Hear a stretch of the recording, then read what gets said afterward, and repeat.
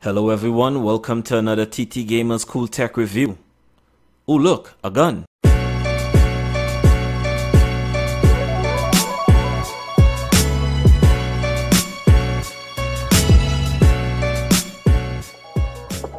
This laser tag pistol was sent to us by Toys Avenue, located at Price Plaza, Chaguanas.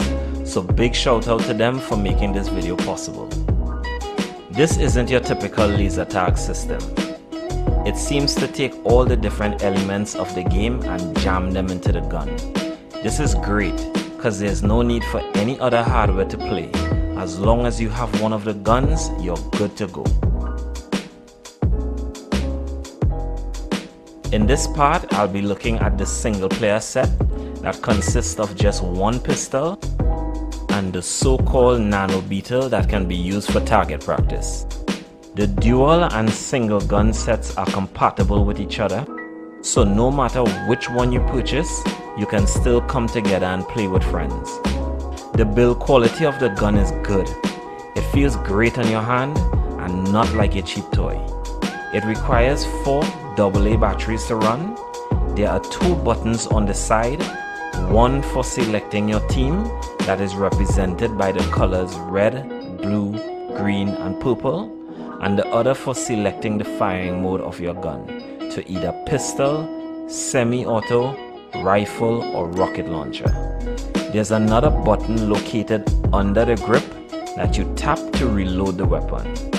Each firing mode sports its own unique sound and lighting effect as well as it vibrates every time you shoot which gives a real nice tactile feedback when firing the gun.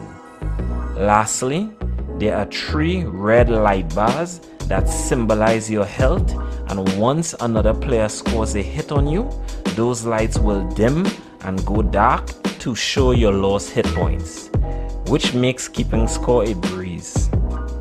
The Nano Beetle is a nice addition that gives you something to do with the gun when you don't have friends to play laser tag with.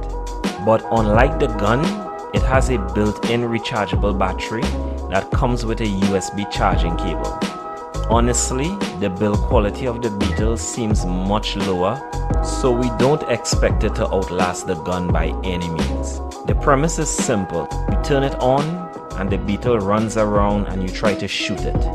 Once you score a hit, it flips over and plays dead for a bit, before getting back up and scurrying away, which was admittedly much more fun than it should have been. As mentioned before, it's a nice addition to give a little extra value to an already very nice laser tag system.